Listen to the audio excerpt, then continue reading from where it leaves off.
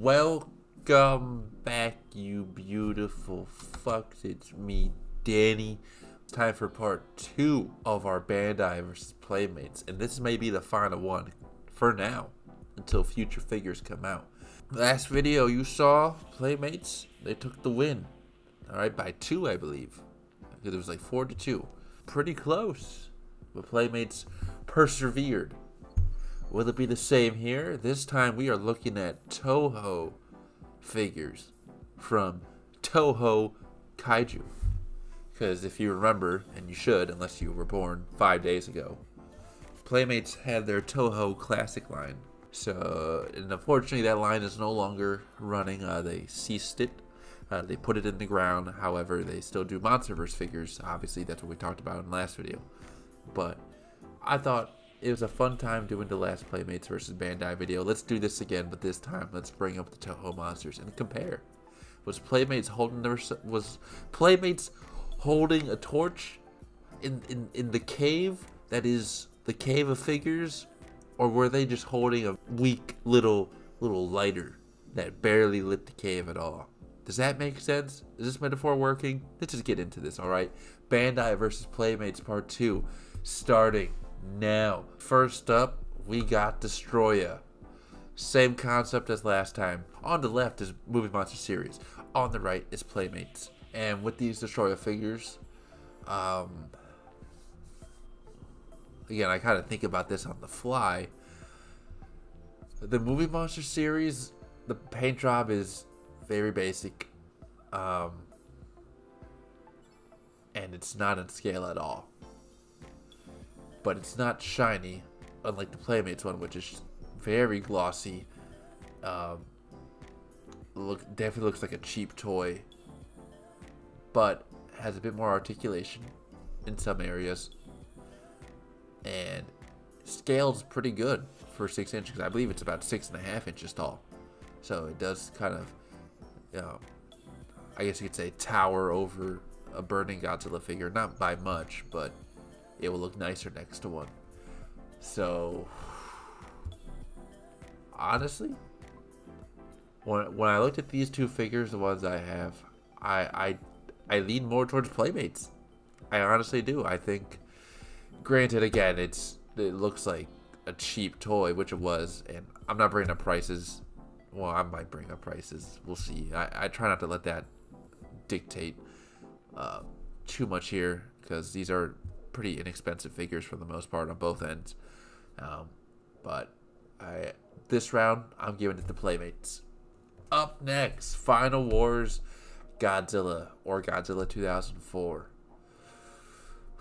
Man, this is going to be a hard one. Just kidding. Obviously, the movie monster series, it looks film accurate. Detail and paint is great. This is the most recent release in 6 inch scale, by the way, from the movie monster series. Uh, Playmates, I remember when the, the first image of this figure, someone found it at a Walmart and they posted it online, and I saw it and I was like, oh no. that was the thought I had. There was no excitement of like, oh, a new Godzilla figure. It was, uh, oh no, look what they done. oh yeah, it's the Playmates one's bad. It's like even if you don't have a 2004 Godzilla, it's like, do you want one? Do you need one that bad that you will pay for this Playmates one? I did. I have both of these figures. You know, sometimes you just get them because they look so bad. It's just fun to have. Uh, uh, wink, wink. Definitely gonna bring that up later on with a certain other figure, but yeah, this round definitely just go straight to Playmate or Bandai. Bandai definitely takes the cake here. Up next, Gorosaurus. This one, you know, I've I've had this opinion for a while, so this is very easy for me. Uh, on the the left there, that's the uh, Godzilla store exclusive. I think it was exclusive, or maybe just a limited edition Gorosaurus uh, six inch movie monster series, and then uh, Playmates obviously on the right. And just being honest, Playmates they're getting this round. I I really love the Gorosaurus figure and this is where Playmates really started to turn around and make some solid Godzilla figures that were could compete with the movie monster series and just be right next to movie monster series figures. Their Gorosaurus, I think, is fantastic. Uh, It's just a solid Gorosaurus. So much so that I had no desire really to pick up this other Gorosaurus. Even when it became available again in the U.S. Godzilla store, I looked at it. I was like, do I really want it? Like, it, it it's not really like it's shorter than I feel like it should be. Uh, maybe I'm wrong on that, but I feel like Gorosaurus is not that short, at least depicted by this figure here from Bandai. Uh, the Playmates one, I think, is a good size. Uh, may not be as green as he needs to be, but still a good color. And I, I like the posing. Now, they're both neutral poses, which is, if you know me, that's what I prefer uh, with these simple plastic figures. Uh, but with the Playmates one, he has a little bit more personality with that neutral pose. That's not too much. You know, not he's not completely like looking in a weird direction that he you know should be like the MonsterVerse City Destruction Godzilla 2014 from Playmates. But um, he, there's just a little bit of a like a slant to him. Uh, if you've seen the figure, you know what I mean. You kind of see it here in the picture. And to me, it, when I look at that, I'm like, that's Gorosaurus because in the I remember like Godzilla's Revenge where you see him and he's the suit actor's kind of standing in place but kind of like shifting around. And the pose I know I'm just making a bigger deal out of this than it should be but the pose that Playmates did kind of shows that just very slightly and I like that. It's not as stiff as the Bandai one. Uh, so it's a I don't know I just like it. I really do. And this round goes to Playmates that's all I gotta say up next, guys, it almost slipped that up. Gigan 2004. Playmates, you could have got this one if you would have just did Chainsaw Gigan, but you didn't. You kept it too safe. And uh, yeah, this one will go to Bandai again. It's just nicer paint, nicer details. I will say this Gigan from Playmates was a part of their Wave 1, which is not a very good wave. Uh, if you remember, you remember.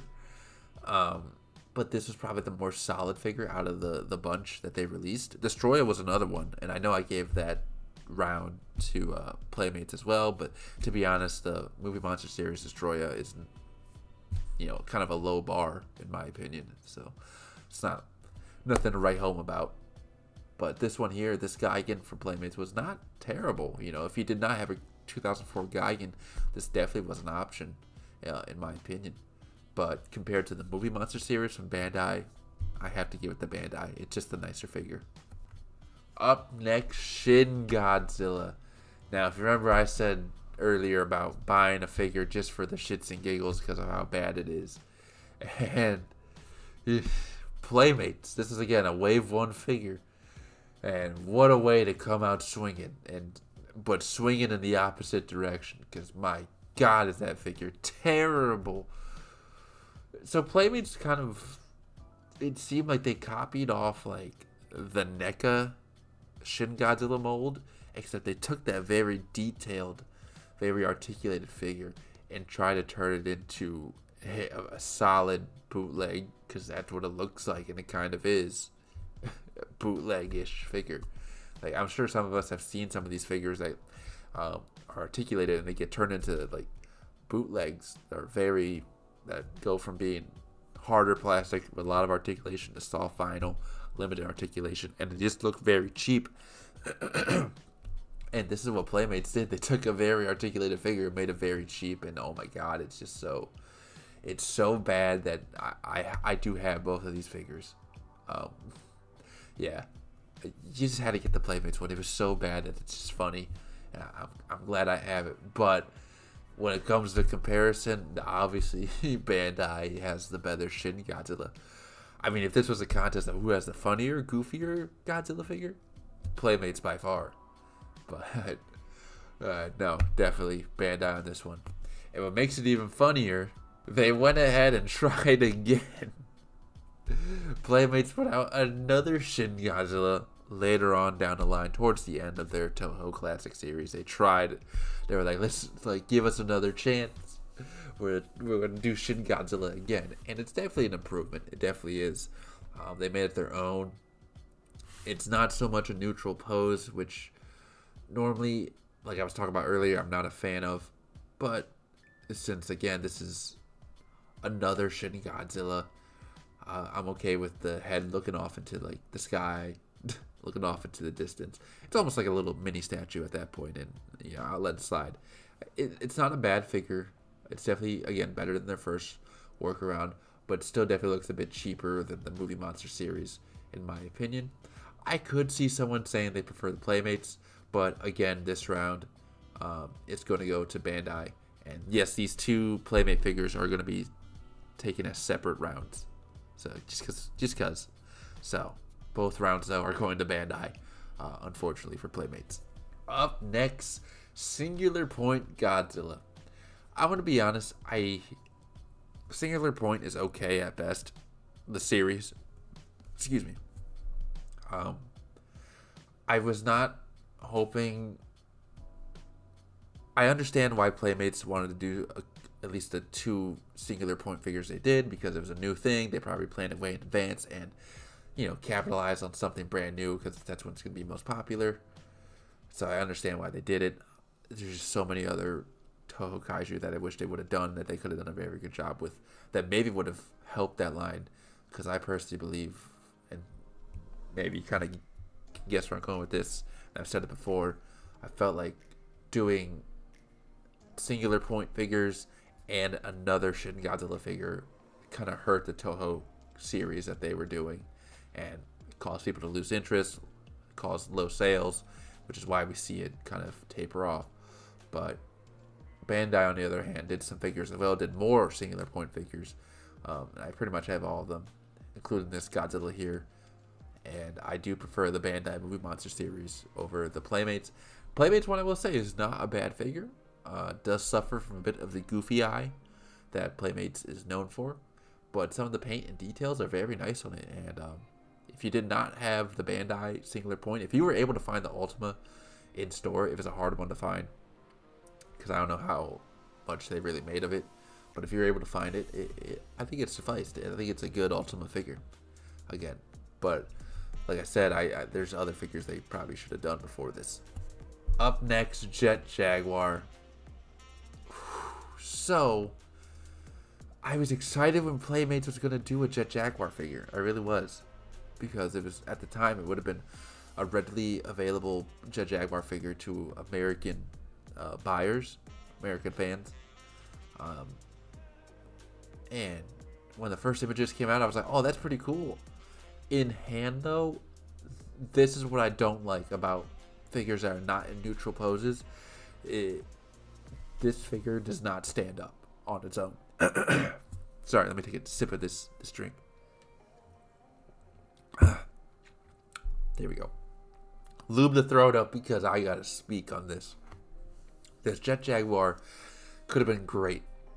I'm fine with the hands and the, the karate pose that they're in, but the legs, I do not like that on the figure. On when I have it displayed, I have to have it leaning on another figure. It, I just do not like when toy companies do these kind of set poses. They are just not practical. It does not stand up well unless you. It's like a balancing game, and also it's just like it it, it's not good. If we look at the Bandai one, he's in a more neutral pose while still doing the karate chop, and it's I it suffices. It looks good on the shelf, and for if, for kids who want to play with it, it, it, offers again a neutral stance while also offering a bit of flair to it when they want to you know smash their figures together and pretend they're fighting. Um, they could have done what the original Jet Jaguar Bandai Movie Monster Series figure did, it had two fists. Um, but I think Playmates went a little too far with this, and um, I'm not I'm not too worried about how it's not as vibrant either. I don't really care for that, um, but I'm giving this round the Bandai as well. I, I this, the Playmates just went again. This went a little too far, in my opinion. You might have a different opinion. That's perfectly fine, but in my opinion, this round goes to Bandai. Space Godzilla. Woo! Another Wave One classic from Playmates, and uh, I wonder which one you think I'm going to choose. Obviously, this goes to play. Just kidding. It's going to Bandai. Uh, Bandai, their Space Godzilla looks great. Limited articulation, very limited. But what can you expect? He has those big old crystals on his shoulder, and it's a Movie Monster Series figure. But Playmates is it's same thing. Has a little bit more articulation. It has that like weird ankle swivel that you know, you is there for some reason if you want to twist his ankle while you're smashing it against other monsters. you're like, oh, he twists his ankle in mid battle. How how sad. But the paint and the glossiness, oh, too much glossiness, and the lack of detail is just terrible on the play, the Playmates one. Again, that was their wave one. That was their first first foot into the door, but definitely not a good figure. So this one going to Bandai as well. Here we have the other singular point figure from Playmates. Again, I don't think they should have done this.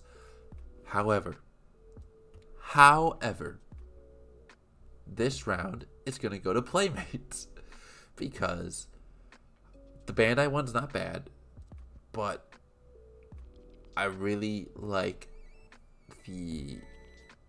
I believe it's called Godzilla Terrestrius. Maybe I'm saying that right. Maybe I'm not saying it right. My apologies. But the Playmates one is better because, again, the neutral pose for the most part with a little bit of flair to it. And I really like the tail too, how it curls up and it's pointier than the Playmates or the Bandai one. So I prefer that one over the movie monster series Godzilla Terrestrius. Bandai's one is not bad, pretty vibrant, on looks nice on the shelf. But the Playmates one is the one I recommend the most. Obviously, if you can find it, I, am sure these figures are not that expensive on the aftermarket. They typically don't go for that much more. At least not till not this far out since the line's been canceled. But I don't know. I haven't checked in a minute, but uh, if you can find it for a good price, I'd recommend picking it up. So, yeah, I know I, I'm, I'm giving the point to Playmates, even though I said they shouldn't have done it, but I'll make an exception, okay? You still should have done like a Monster X, uh, King Caesar 2004 figure, all these other monsters that deserve to have their first like six inch figure. I know Monster X finally got a six inch figure, but so many other Toho Kaiju that they could have done besides singular point figures. But at least this one is a very good figure, so I'll give it that. Up next, Burning Godzilla. I'll be honest, I'm back and forth on this one. Obviously, the paint, or let me let me back up a bit. The detail on the Bandai Movie Monster series, Burning Godzilla, is superior. Um, a bit more movie accurate, I'll say as well. But the the burning portion on him is very dull, especially in the re-release, compared to the Playmates. Excuse me. Um, Playmates one. I kind of like the pose better. He's a bit more upright. I like the hands. How he kind of did something different with the hands. One is kind of pointing it down. The other one's pointing to the side. I, I like that.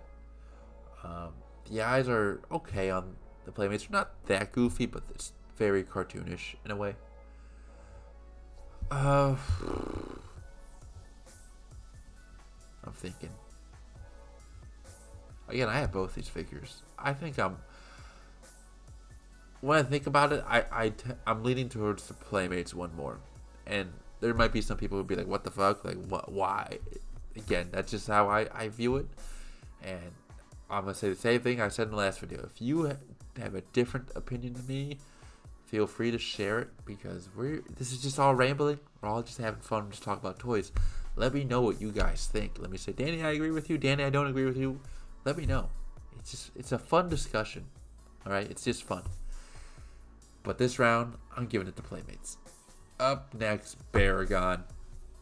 This one, this is the final Toho series figure from Playmates, and although it's not the most accurate, it might have been a step back from the Gorosaurus line, uh, figure that came out before it.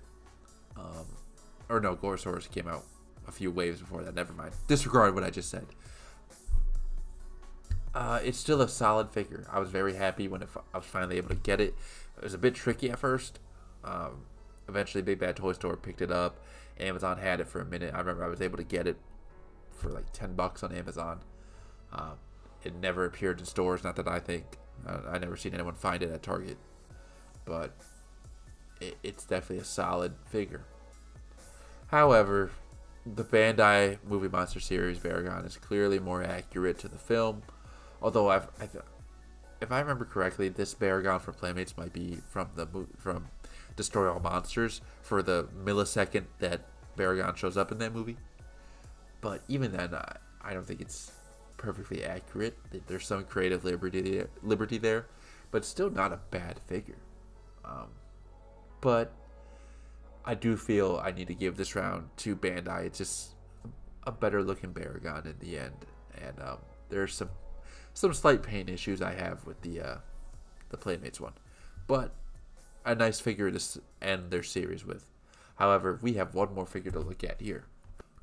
I saved this one for last, and it's because at first he wasn't included in the list, but it's the only other. Pretty sure this is like the only other Playmate six-inch figure that I uh, they released, and I kind of felt weird leaving it out, so I might as well bring it in and, and talk about it. It's classic Rodan. Now, the preference, the Bandai you see on the left is not a Movie Monster series figure. That is an 8-inch scale uh, classic Rodan from an older Bandai line. It's a, a bit more vintage now. Uh, I do have the figure though, so I have both of these. Um, also, I'm using the Playmates Rodan render that originally showed him having uh, wing articulation, uh, but he obviously does not have wing articulation in the final product. But again, I just wanted to include Rodan because you know why not? Shits and giggles, okay? There's no rules to this. We're just having fun, and for the comparison, okay, Playmates is again is doing a, a neutral pose with a little bit of uh, pizzazz to it compared to what Bandai did way back in like the 90s or whatever. Um,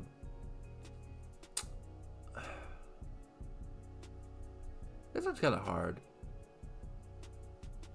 I think I'm going to give it to Playmates on this one. Because it's another solid piece from them. It's not a bad figure, again, for the price. And the Bandai one's not bad. But it's also, like, it is quite shiny. And, um, I, I guess the Playmates again, where they add a little bit of a flair to their, their the pose, the final pose of the figure, kind of it helped it out. They didn't go too far with it.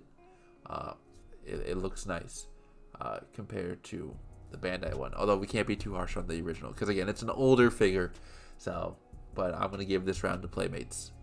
And here we have it, people. The final score Bandai 8, Playmates 5. I just spit. Oh my goodness, how disgusting. My poor monitor. But yep, Bandai has taken the cake on this one.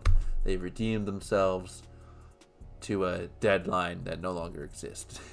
but Playmates, again, they, they tried. They came out the door tripping and breaking their shins, but they eventually healed and put out some pretty good figures.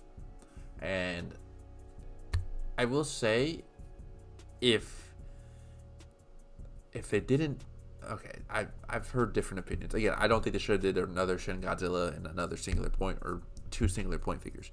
However, it was around that time, especially with the Gorosaurus and Rodan wave, where they really started to put out some solid stuff.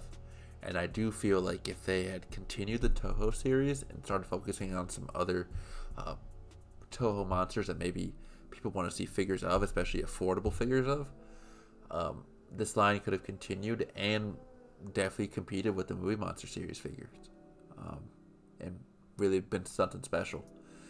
Uh, so it is kind of sad to see them start to get their, their their shit together and then ends up closing the line down.